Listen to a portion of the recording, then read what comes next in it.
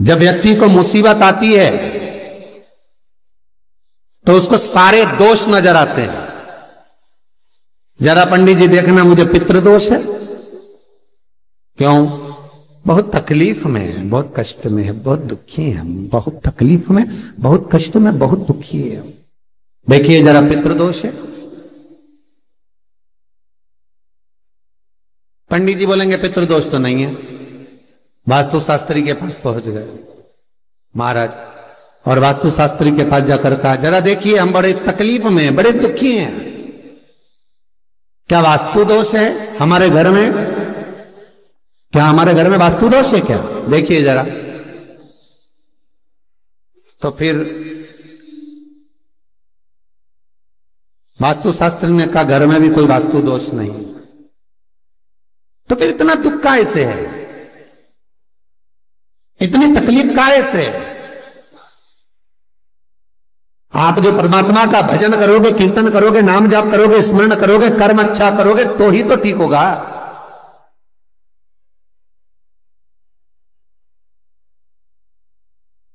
महाराज, जरा देखो, हमारी, हमारे घर में कोई दोष तो नहीं है वास्तु का? वास्तु दोष नहीं है। अब पितृ दोष नहीं है, वास्तु दोष नहीं है, फिर का एक काम करो, हम बड़े तकलीफ़ में हैं। जरा हमारी जन्म पत्रिका देखो।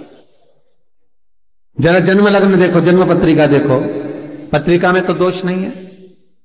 अरे भाई, जब व्यक्ति का मुसीबत का समय आता है, दुख का समय आता है, तकलीफ़ का समय आता है तो वो पितृदोष देखता है।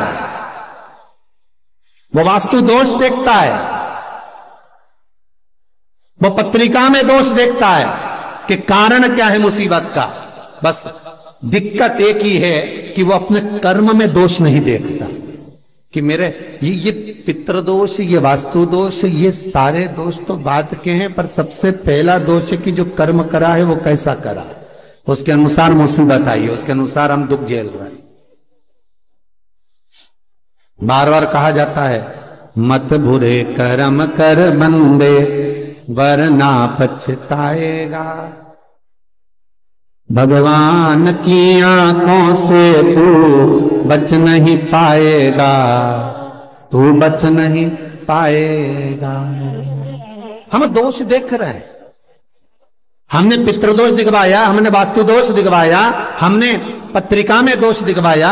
मेरा एक निवेदन करबद्ध है, जब आपके ऊपर मुसीबत जब आई है, दुख जब आया है तो अपने पूर्व के किए हुए कर्म का भी दोष निकालो कि क्या कर कर आए।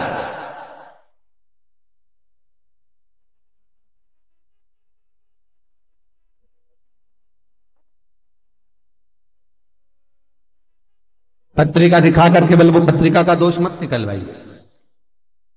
वास्तु का गलती निकाल कर वास्तु का दोष ना निकलिए, महाराज।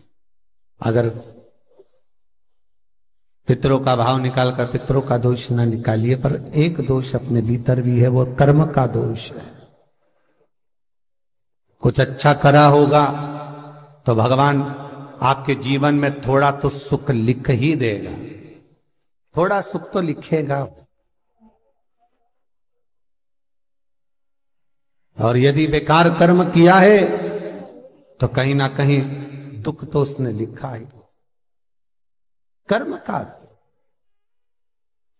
मत बुरे कर्म कर बंदे, वरना बचताएगा भगवान की आँखों से तू बच नहीं पाएगा, तू बच नहीं पाएगा। अरे ओ अज्ञानी, मत करना दानी महाराज, कर्म का दोष ज़रूर देखें। पितृदोष बाद में देखना, वास्तु दोष बाद में देखना, पत्रिका में दोष बाद में देखना, पहले अपने कर्म का दोष देखिए।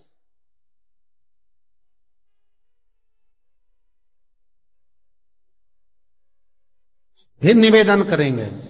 बार बार कहते हैं कि भगवान की भक्ति में डूबो।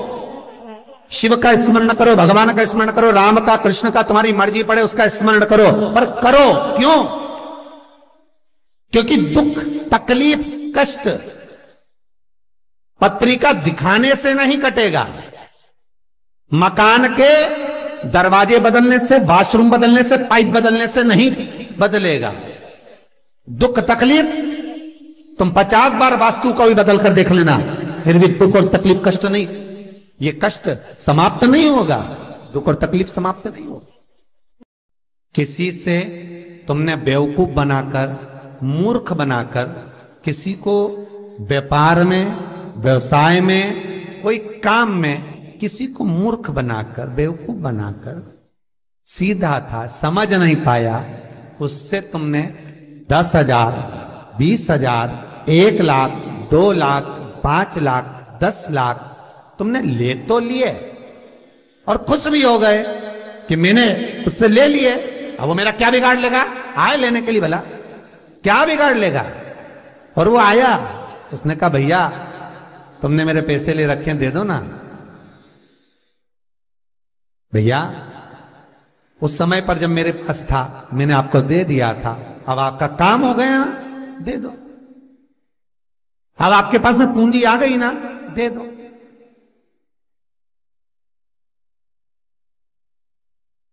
बहुत ध्यान दीजिए महाराज।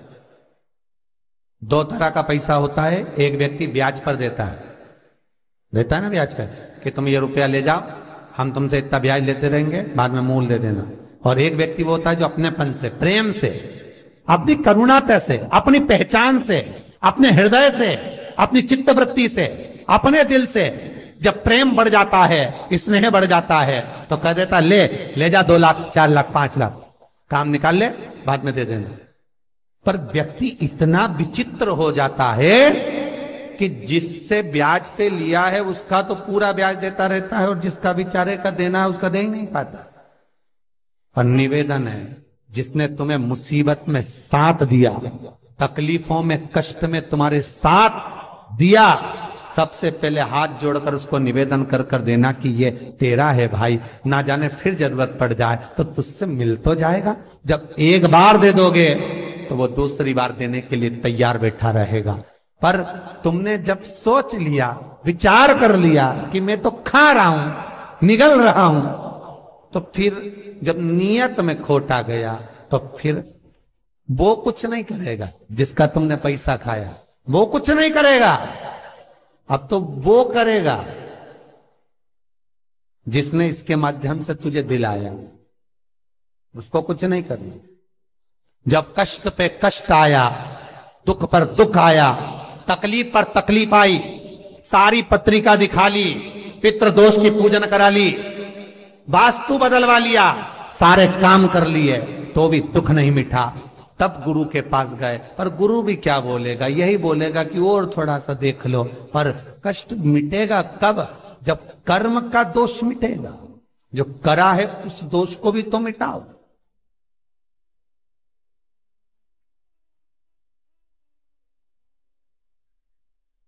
विचार करना पांडवों पर कितनी कितनी तकलीफ़ आई। कितनी तकलीफ़ आई पांडवों पर? लाक्षाग्रह में आग लग गई। पर भगवान किसी रूप में आकर बता दिए कि आग लगने वाली है।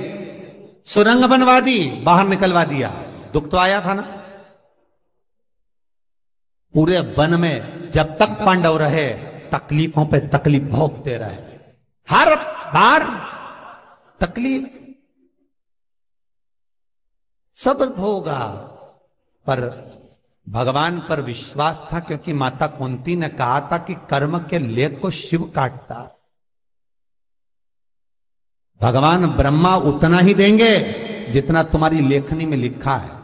भगवान विष्णु उतना ही देंगे जितना तुम्हारे भाग्य में लिखा है। पर भगवान शंकर तो कुछ नहीं देखते, ना लेखनी, ना कर्म, ना भाग्य, उनका अपना अपनाए दे दो उठा के। उठाओ देव। क्या सोचना, क्या विचारना, क्या करना? दे। फिर नहीं सोचना फिर नहीं विचार। वो तो केवल